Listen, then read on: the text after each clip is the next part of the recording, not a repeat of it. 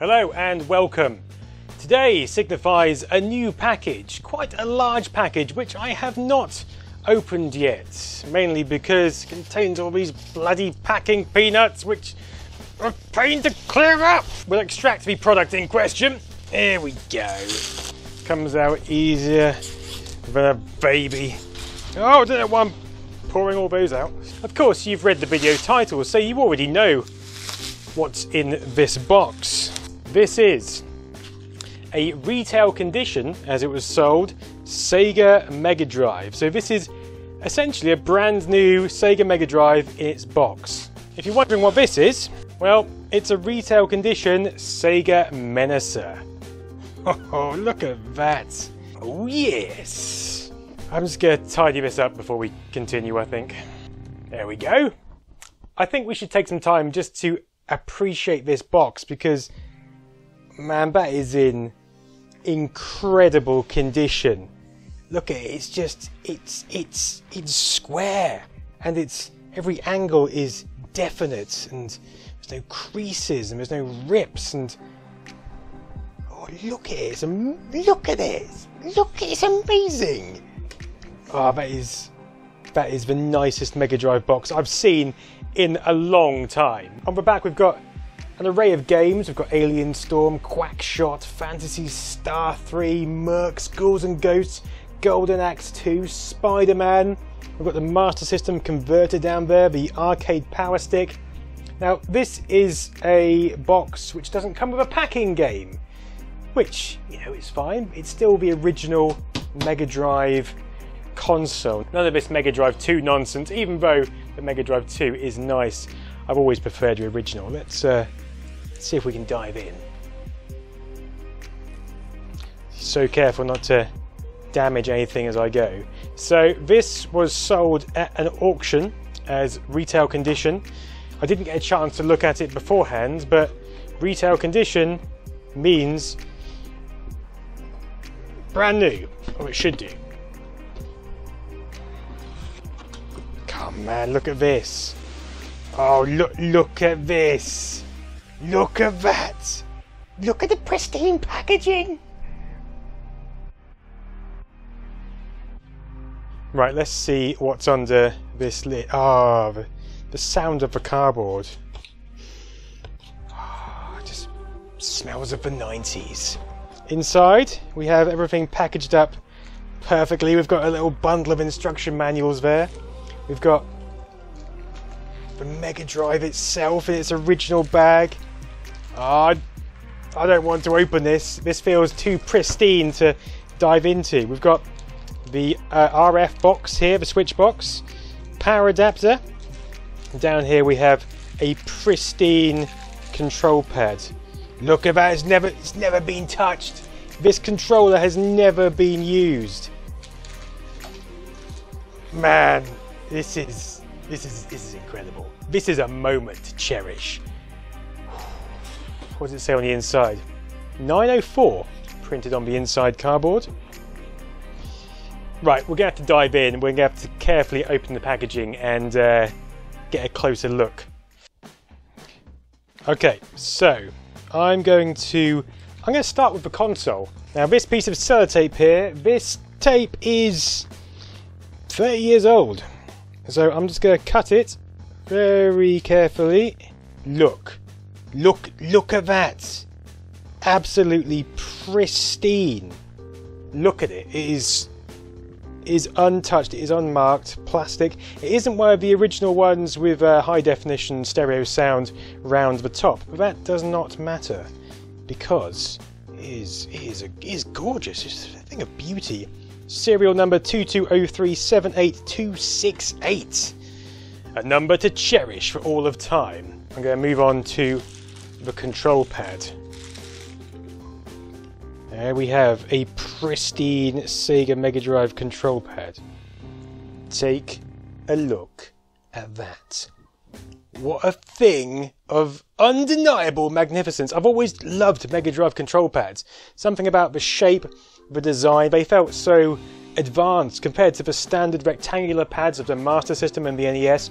These felt incredible. It felt like you were playing with power. to steal a uh, phrase from another manufacturer, like a shine to it. It just felt so sleek and powerful and deeply sexual. Oh, yes! I'm not going to take this out of the packaging, but this is the RF box for plugging into the RF socket of your TV. Oh, so switchy. The components in this bad boy are just waiting to be heated up to operational standard.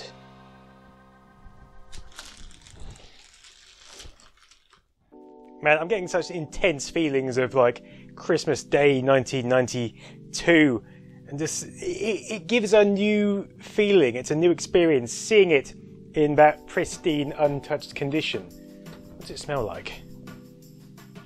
It smells like slight uh, heated electronics which is surprising given it's not used but it's mixed with a synthetic plasticky undertone this box even without anything in it, it still weighs quite a bit. We've got all this cardboard to keep everything in place, and you can feel the quality of it. It's just, it's solid construction. Okay, on to the documentation, which in many respects is the best bit. Look at that slightly yellow tape. Just, just giving away the age there. So, inside, we get the original Sonic the Hedgehog poster. Oh man, this thing just brings back memories. I used to have this on my bedroom wall, and on one side you get Sonic, and on the other side you get all the Mega Drive games, which is just just thing, just a thing of you know you'd sit there and just stare at this poster just for hours, just looking at Sonic, taking it off the wall, looking at the back, seeing which games you could get next. We've got a Sega guarantee and registration card. So many checkboxes. What other games consoles or computers are there in your house? PC, Amstrad, Master System, Commodore, Atari Lynx? You're a lucky boy or girl if you ticked a lot of those boxes. And here we have the instruction manual Mega Drive, arcade graphics and sound, new dimensions in gameplay. Yes, I used to love this manual. Just the pictures of it showing you how to set up your Mega Drive with different TVs and audio systems. Uh, just, just, I mean, there's not much to it before you go on to German, but look at that. Look at the look at the manual. So flattened, tessellated. It's a thing of absolute beauty. Man, this has been an experience. I am quite tired. I might have to go for a lay down before moving on to the Sega Menacer. Whew!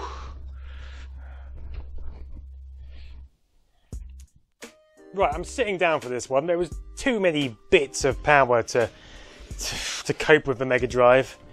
Look at this. Look at this box. This is the Sega Menacer. I remember when this came out and ah. on the back we've got a sticker that says not to be sold separately. So I wonder if this came with the Mega Drive itself. Inside, I'm expecting, oh, wondrous, wondrous things. Look at this.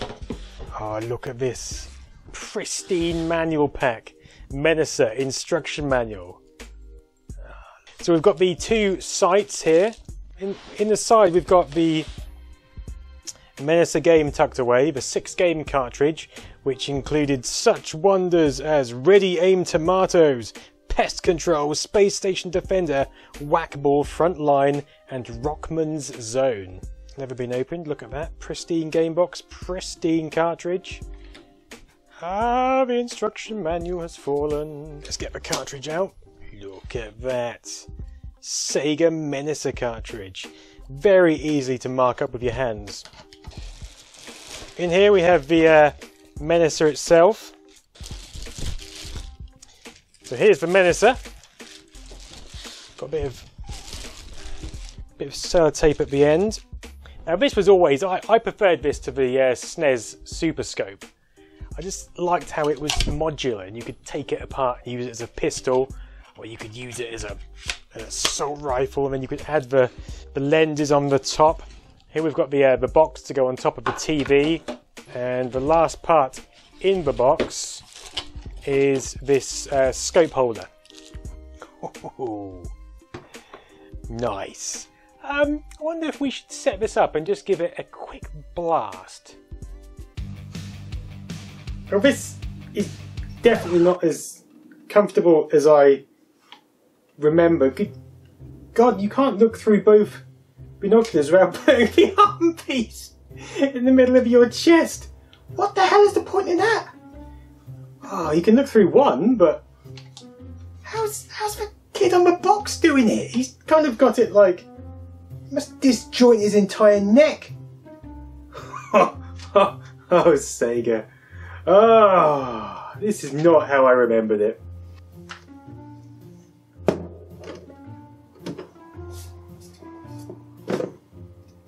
It's getting dusty already. Ah, oh, I can't. I can't bring myself to set this one up. I can't do it. It's just so pristine.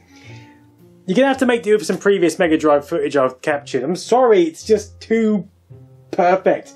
This is going back on a shelf. So is the Menacer, and I might get it out again at some point. But at the moment, I just I can't do it. I just can't do it. It's too pristine. I feel bad for getting out of the box. So there we go. I guess all that's left to do now is some glamour shots with some appropriate music alongside.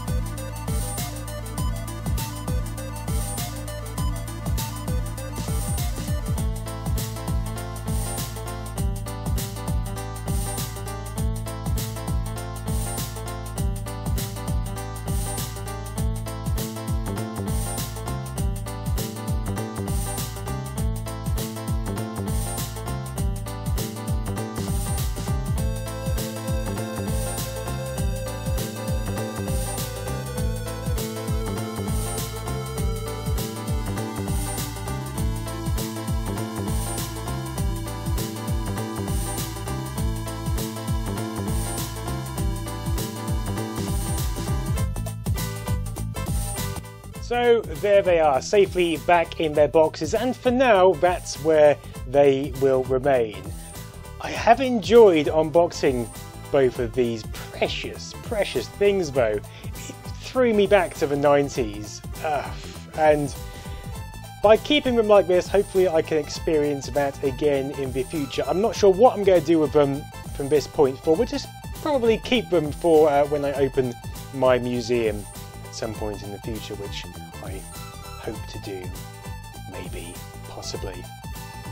It's been quite an anxious time opening these because, you know, I didn't want to damage anything or ruin the experience uh, for myself or for you watching it, but I hope you've taken something nostalgic from it, and I hope to see you again soon. Thanks for watching and have a great and nostalgic evening.